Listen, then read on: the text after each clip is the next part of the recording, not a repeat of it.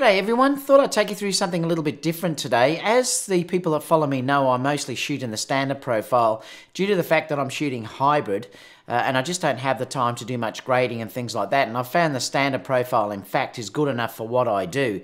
The only area where it really falls down if you do need the ultimate dynamic range, that's where you have to use one of the profiles.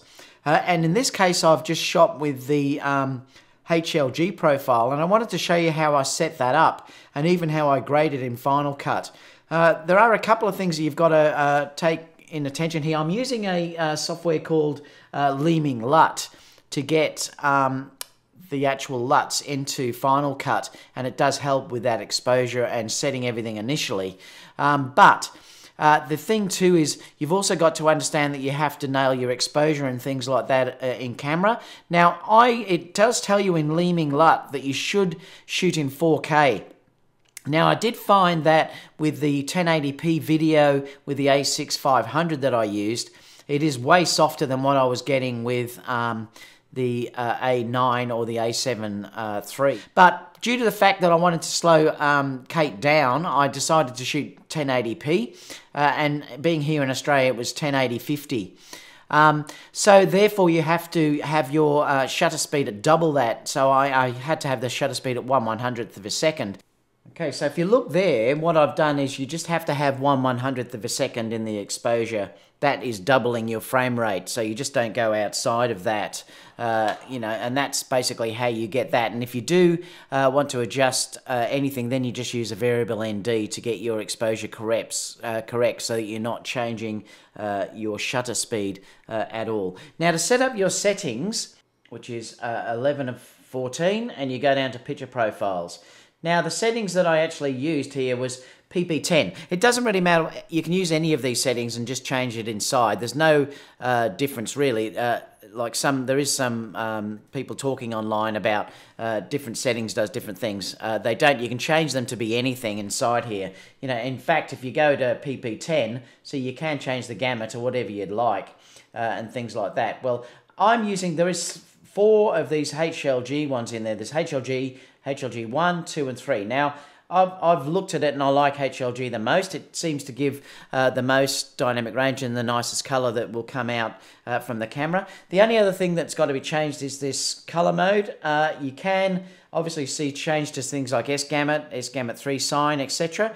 Uh, but uh, it tells you to use BT20. Now that's because I'm using that Leeming LUT, which I'll take you through a little bit later and show uh, how that works. And the color bit depth or the color detail down here um, or the sharpness is where it actually told me uh, I believed in the Leeming LUTs to make it minus 7, but I'm not sure about that because I'll show you that a little bit later where that's mentioned, those settings that you meant to put in. But I had set them on minus 7, uh, and I believe that that has caused that image to be very, very soft. I think with the A6 uh, 400 series, you can't go down uh, that low. It might be that you use something like minus 2 or minus 3 or even keep it on uh, your normal uh, just zero uh, setting there as well. It's something you're going to have to play around with, but it won't change uh, the overall uh, color correction that I'm going to show you um, shortly. So that doesn't matter. Uh, just ignore that little bit of softness until there's more testing done. And then all I did was I balanced the exposure just using an ND. So that let me keep my shutter speed at double the frame rate. Uh, and that's how I actually did that. So, and it seemed to work really good. So what we'll do now is I'll open up um, Final Cut and I'll show you how you can manipulate the image uh, to look like uh, you know a, a normal image that you'd see in the standard profile or something like that with exposure and everything else. So we before we go over to Final Cut, I thought I'd show you uh, what LUTs I used and what settings. Uh, this will tell you what settings that you actually have to set in your camera, and it's a really good system. And it's it's actually Leeming LUT. Uh, it's this system here uh, that I paid for. Um, so I didn't get this for free. Uh, I they don't. Um, I'm not sponsored by them or anything, so I actually purchased this. But they're reasonably, uh, uh, really cheap, really, for what you're getting. So it's called Leeming LUT Pro, uh, and it seems to work fantastic. Um, and what it does, it's it's a system that works with a number of cameras, and it will work with uh, log as well as the HLG profiles as well. And it tells you how to set everything up uh, at, as well at the same time. Now, if we scroll down, you'll see that they've got Panasonic, Blackmagic Design, Sony. They even have uh, DJI Mavic Pros as well as Canon and GoPros and everything else. So they'll work with so many different cameras. Um, and the thing too about it is that um, they also continuously update them, and that's one great thing as well. So now that I've paid for them, I keep getting updates. Uh, you can see here that the Sony version I've got was 25 euro, and that's what I got. Uh, and it um, basically, like I said, it, it works with um, Cine 2, S-Log 2, S-Log 3, and HLG uh, as well. And I think they're just about to do another release that works better with the HLG. Uh, and the interesting thing, though, is that they give you this setup guide, except you'll see that this is the Sony camera setup guide, and it's version 6 uh, which has just been updated. And then it gives you a breakdown about all the settings that you actually put into your camera, whether you're using PP1, PP2, PP3, or HLG. And so it tells you what settings uh, that you actually put in. And I think this is where um, I'm, I'm not sure whether I made a mistake because with that detail setting, because I noticed under PP1 it's saying you have minus 7 there. I'm wondering whether you only put minus 7 as the, uh, if you're doing this version, it might be that because minus 7 wasn't listed here that you leave it as standard. But I noticed when I went online, most people were saying that they were putting minus 7 in as their uh, detail due to the fact that they didn't want that uh, too sharp looking and you could add sharpness later uh, in post. But I found that when I put it at minus 7, even when I added uh, the sharpening in post later on, it just didn't seem to look right. But so it does tell you that if you're using, for instance, S-Log2, it tells you what your color mode will be S-Gamut. It tells you if you're using the PP4, and that's PP10 on the A6400, that you put in HLG, and it's BT2020. Now, uh, that setting seems to be the same no matter uh, what HLG you're using. It just seems to change the, the color a little bit. Uh, so I changed it and used the latest version, which is HLG 3. Uh, and it also tells you uh, the picture profile settings as well uh, down here. And it tells you what zebra setting to put in uh, as well. And so I set my zebra settings at uh, 95 plus. And it says basically uh, that don't forget to adjust your zebras each time you change picture profiles. Otherwise, the ETTR exposure to the right uh, warning function of zebras will not uh, work as intended. And it also gives you a message about if you're using the LUT in um, something like the Ninja V or whatever, you turn that LUT off, or even the LUT in camera, uh, due to the fact that that can affect the uh, zebras from showing correctly. Uh, and so I did set it at 95.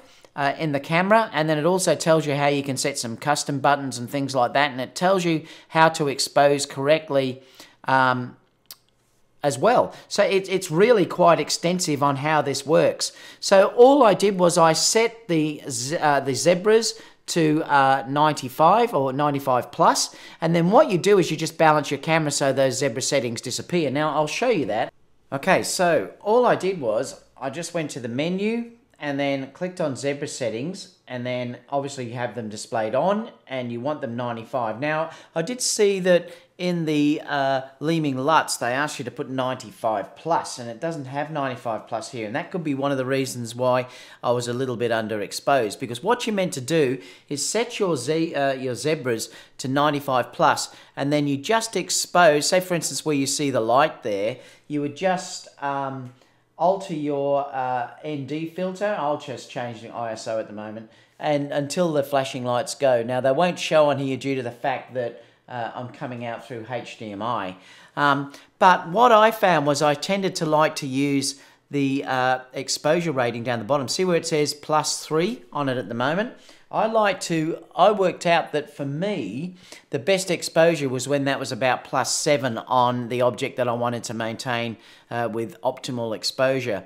I could sometimes go up to, uh, up to plus one. The only thing was with plus one, uh, you, you did have the chance of uh, clipping the highlights a little bit, whereas plus seven, it didn't seem to clip uh, the highlights at all, and that gave me uh, a better exposure. you might find that if you did have 95 plus, in the settings for uh, the zebras or zebras that uh, that would probably give you a plus seven anyway. Uh, some people I read said you should have as uh, just zero on your uh, main subject that you're uh, exposing on. Like for if you had a bride, for instance, you'd have zero on the bride. But I found that uh, I could go a little bit higher than that, and that's why I found that I like the plus seven, and that worked really wonderfully in the exposure a little bit later on. Okay, so let's look at what happens here. Now, you'll notice straight away that when we look at this, uh, if you if this was exposed for a normal uh, television or computer monitor, you'll see that at the 100 line, uh, that's where your exposure would have to be between. So you'd be in this area here. But you'll notice due to the fact this, that this is HLG, uh, and it's you know high, uh, high dynamic range uh, type image, that you've got exposures that are above the 100. Now that's saying to you that the detail is still there. You can even see that they're not clipping. Uh, so even though that the image looks like it's way overexposed, I mean, if you look here at Kate's uh, white top and all these lights and everything, they all look like they're way overexposed. Uh, and that's the issue with uh, looking at this type of um, format on a normal uh, computer monitor. You can see here too how much that Kate looks like she's actually overexposed. Uh, I mean, she looks like she's way overexposed, you know, in the top and stuff like that uh, through here. But she's actually not. It's actually the, the profile that you're shooting in gives you more detail than you actually uh, can see on a normal screen. Now, the way you can see this is the first thing you have to do if you're using Final Cut is to conform this to uh, Rec 709. Now, the way that you do that is you actually open up uh, this area here, which is the information up the top. It's just this little button that you see actually here. So if I open that up here, now all you do is you'll notice down here that there's two things that you actually uh, have to change, which is the color space override and the camera LUT. This is where you'll get the Leeming LUT in and the uh, it tells you how to install that uh, in the notes that you get with the Leeming LUT uh, and also this color screen override. So if I now go up to here and I click on this color space override, you'll notice that there's different color spaces that you can conform to. Well, I want Rec 709, which is the standard profile that we use uh, for YouTube and, and my monitor and everything else. So if I go Rec 709, you'll see immediately how much that's darkened down. Now, the, the issue here is that it was actually quite dark when I shot this. Uh, it was very, very late. This was just before uh, the sun had gone down completely, so it was actually very, very dull uh, through here. The second thing that I do is load the LUT. So if I come down here and I load the Leeming LUT 1 and HLG LUT, you can see it's a little bit darker again. Uh, and then I'm just going to manipulate this a little bit up to be where it roughly was uh, on that day. Uh, if I was going to do this fully, I was just doing this to give a quick review. I should have lit Kate up. And that's the thing that I would have done. I would have used the Profoto B10 to throw some continuous light on her. Then she would have stood out from the background much, much more. Uh, but don't look at that at this stage. Uh, and I'll, I'll, finish this and then we'll go on to the second one so you can have a look at how we actually expose uh, for the second one as well. Um, so all I do now is I go over to here and I want to use the uh, color wheels. Uh, and you can see here that uh, if we look at Kate, I'm just going to find a spot there where it's showing her uh, overall uh, that I can look at. Like I said, she probably really should have been lit, but now I can just play around. Now you'll see at the moment that uh, the highlights are just clipping the 100, and that's due to these lights that are in the background. Uh, I, like I said, if I'd lit Kate up, that I could have just held that exposure, which is pretty close to how it was. I'm just going to play with this until I get a look that I'm actually happy with something in between somewhere, uh, and I'm going to go around about here uh, with the highlights, uh, probably around about there because I might bring the midtones up a bit too. I'm going to drag the shadows down so they'll hit that 100 line and I can even play around with the midtones too if I want to give it a little lift in the midtones and then uh, brighten up the master just to give a little bit more color into the background as well. And I'm pretty happy with that. Like I said, uh, remember she should have probably been lit up here to get a perfect exposure, uh, but I was just doing this to demonstrate uh, uh a bit of filming that I'd done. Uh, the same with this one. Let's go to this exposure. You can see she looks completely blown out. Again, I'm going to check that she is conformed to the color space, which is Rec 709. Uh, and then I'm going to load the LUT into this as well, which is Sony HLG LUT. Uh, you can see how that's kept that beautifully for the highlights in there. Like I said, if she was lit up now, uh, this would have looked absolutely stunning. Again, I'm just going to go back to the color wheels uh, and I'm just going to play around with this just to give it a little bit of a lift, uh, a bit in the midtones and then drag those shadows down again uh, through here and then give it a little lift in the color to come up as well. and that's basically it. Okay, so you can see now that I've slowed this down. I love the look of slow motion, uh, particularly with girls walking and things like that, and the jacket moving uh, around it. It's just beautiful. So you can see Kate's doing this very, very well. Um, again, I'm just moving around here, but you can see that it's held the color great. Uh, the beautiful thing about using HLG is that I can have an ISO of 125, so that's one of the big advantages of using uh, that profile instead of the uh, S-Log ones, which is much higher. But overall, I'm really happy with um, you know how this looked. Uh, she should have been lit though, which would have made her look absolutely amazing if she was actually lit. Um, I thought that I'd um, share that with you. It was using the Leeming LUT that I discussed a little bit earlier uh, to get the, pro, the LUT in. Um, but it seems to work very, very well and very easy. Let me know what you think about that down below. I'd love to know what your uh, opinion about this is. Uh, like I said, the image was a little bit soft, which I was a little bit disappointed about, but that is something that I, you may have to live with if you're shooting with the a6400 in 1080p.